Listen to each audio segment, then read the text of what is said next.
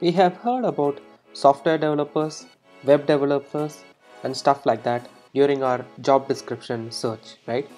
What do they really mean by full stack developer, mean developer, MERN developer, or a LAMP developer, right? What do they really mean? Let's see what do they really mean by these terms, right? Let's get started.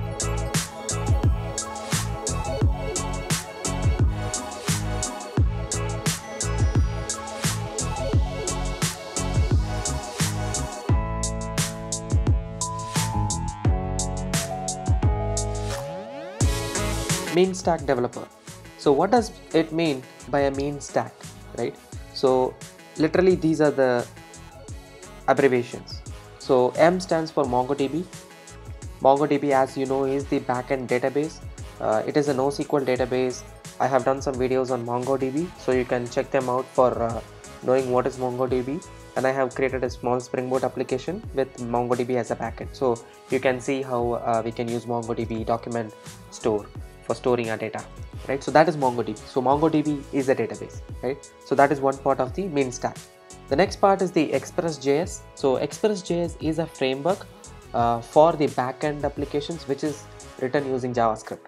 So express.js is a backend application uh, or a framework where you can write javascript code right? So where do this express.js run? They run on node.js so node.js is a backend uh, server for the JavaScript application. So if you want to write a backend code using JavaScript, you can use Node.js and Node.js is the technology where you can run the JavaScript. So for example, this Chromium browser, right? So the Chrome browser is uh, using the Chrome's V8 JavaScript engine.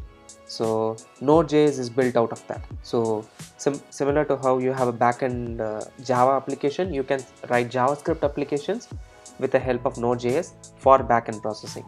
So that is the backend for uh, the MongoDB, right? The backend server. And the UI technology is based on Angular. So Angular is the framework for uh, creating UI. So this is the mean stack, right? M stands for MongoDB, E stands for Express.js, which is a framework for uh, writing your backend JavaScript code, and Angular is for the front end code. Node.js is where you will be running your backend Express.js application, right? So that is the mean stack.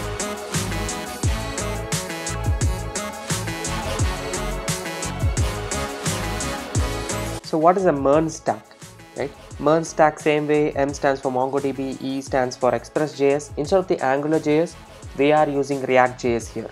So React.js is a library where you can use it for creating um, user interfaces using HTML and the, the JavaScript as a um, UI part right? So that is the MERN stack. So everything is same exactly similar to the mean stack except that instead of the angular uh, technology or the angular framework here we will be using react library right? So that is the MERN stack.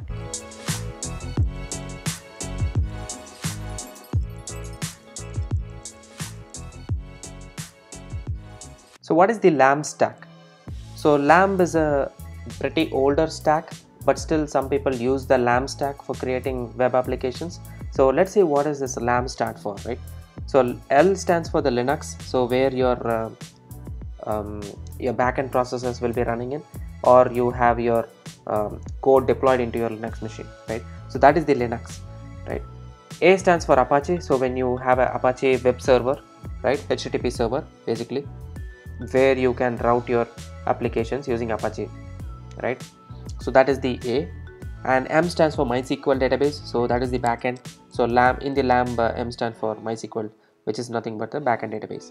And for p uh, it can be either python or um, php or even perl for that matter. So that is why the stack is little bit old. Perl is pretty old. Php is pretty old. And mysql is also pretty old.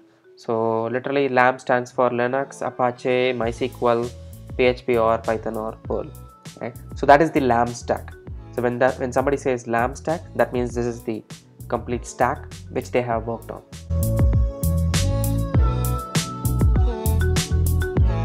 So what does a full stack developer do? Full stack is basically uh, any UI technology, any backend technology, and any database technology. So when somebody says I'm a full stack developer, that means they either know Angular or Express.js or React.js or node.js for ui and for backend they either use node.js or any other backend technology and uh, like apache as well. And the database could be mongodb or mysql or any other nosql database. So when they say full stack developer that means they have worked on right from the ui till the end the backend database right? So from end to end they have worked on all these technologies. So that is why they call themselves a full stack developer. So that is the full stack developer explanation right? So that is what i wanted to cover as a part of this particular video. I hope you guys uh, understood what is a mean stack what is MERN stack what is lamp stack and what does full stack mean. Hope you guys found this video interesting. Uh, if you are um, here for the first time in this channel uh, go ahead and subscribe to it. You can find similar videos on all latest technologies on spring boot uh, devops jenkins and stuff like that if you like the video go ahead and like it. If you haven't subscribed to the channel go ahead and subscribe to it. Meet you again in the next video. Thank you very much